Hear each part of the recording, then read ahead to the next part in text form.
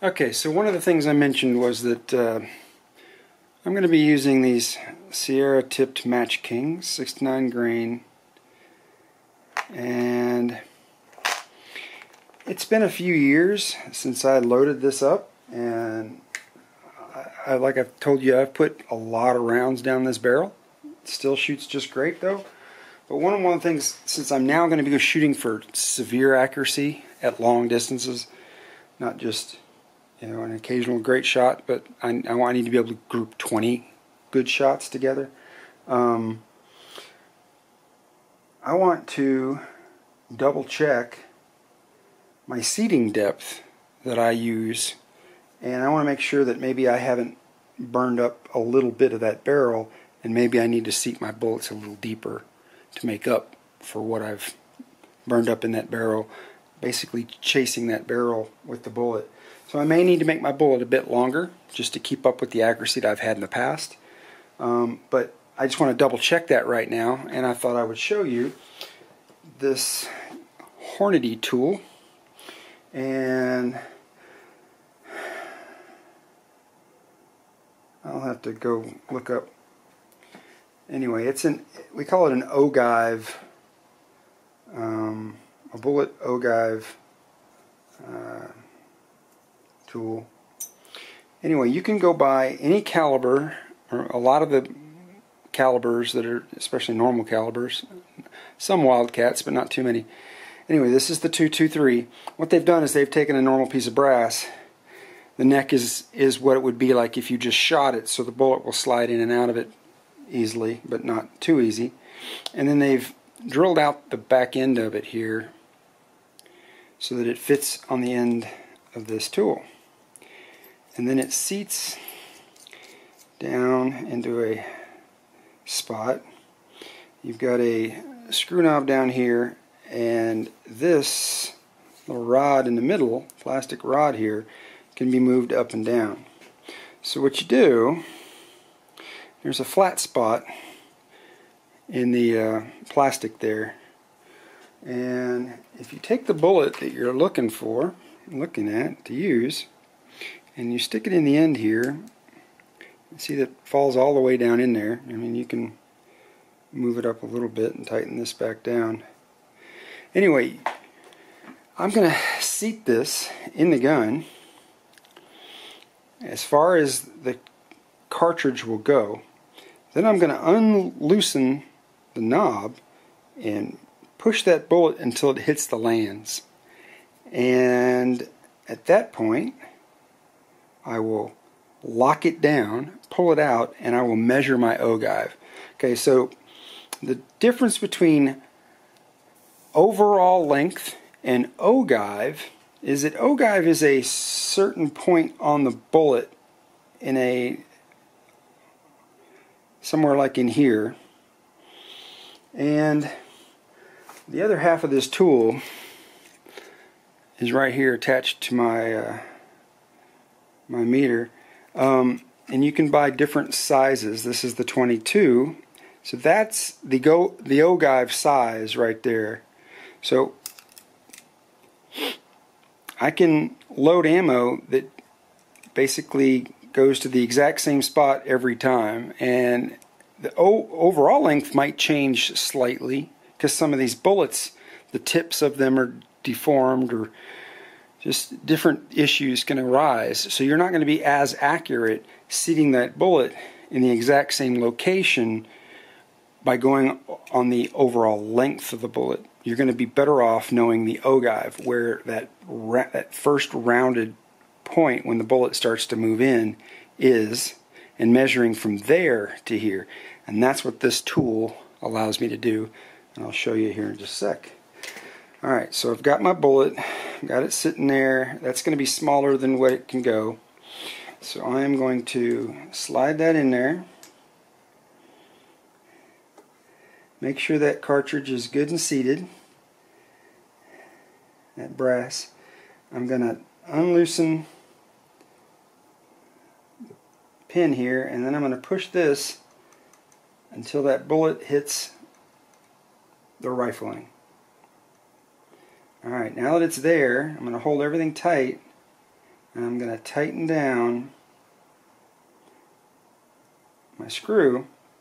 Now when I pull it out, the bullet typically gets stuck in there because it's it hits those that rifling and it kind of the rifling kind of grabs the bullet. So I have to go grab a cleaning rod. There it goes. Alright, pull that out of the way. Bullet fell down in here. Push it back. Alright. So if you look at that bullet closely, you can see some marks right there where it hit the rifling. So you know you got it all the, all the way in there. But now, if you take this where you set it and you put the bullet back in it, that is how deep it is from the end of your bullet to where your bullet hits the rifling. So that is if you wanted to load your rifle to where you just touch the rifling, which isn't recommended by manufacturers or most most people, um, that's right where you would want it, and you would measure that. And that over there. Put your flat part here, and now my ogive on this one into the into the rifling is 1.633. All right. Now, they say you shouldn't trust that first measurement. You should do three or four of them and then average them. So let's do it again.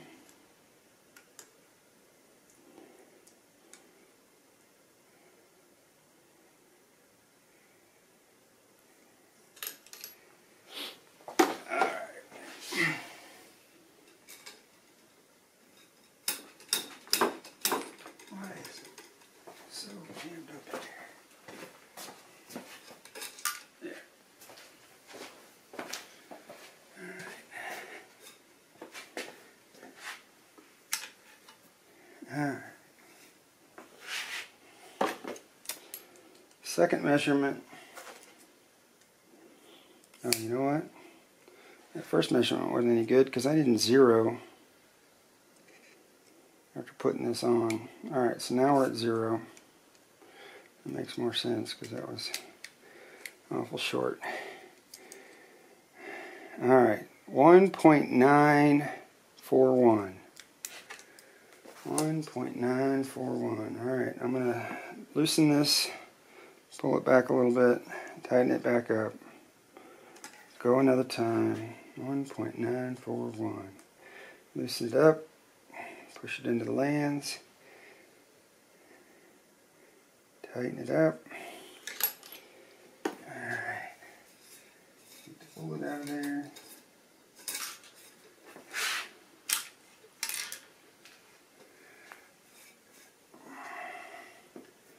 See how close our two measurements are. 1.941 was the first one. This one is 1.941. All right, so I really don't want to dig through all my data for this rifle. I keep a book on every rifle. Um, some of them are just notebooks. Some of them are uh, binders and some um, some rifles have both, um, depending on how old they are. Okay, after further review of uh, a bunch of my data, I can't find where I ever documented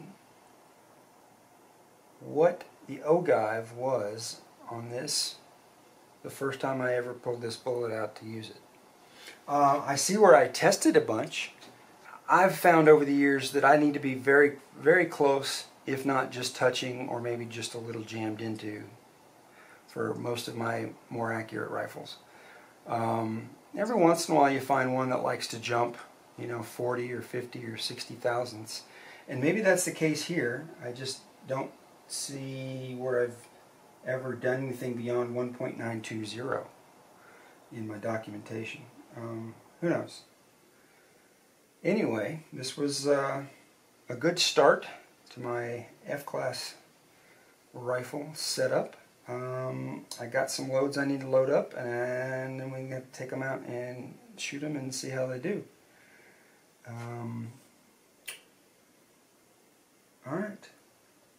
Um, I guess next I'll show you some uh, some of my reloading and maybe cleaning some brass and sizing some brass and and uh, seating primers, dropping powder, loading bullets. And when you load them bullets, you pull this bad boy out again because you want to make sure you're seating it right where you want it. And I'm going to have to change my settings over and over and over again to get this bad boy right where I want it. So, enough for my first day and my direction towards heading to F class. I think it's going to be a fun little adventure. Um, I'm also going to start working on thinking on what I'm going to do. Probably going to go the 6 by 47 route. Less recoil, very accurate. And uh, I think with that short barrel I've got, I can maybe just rechamber it and still have enough barrel there to make it work. Anyway. Alright, till next time guys.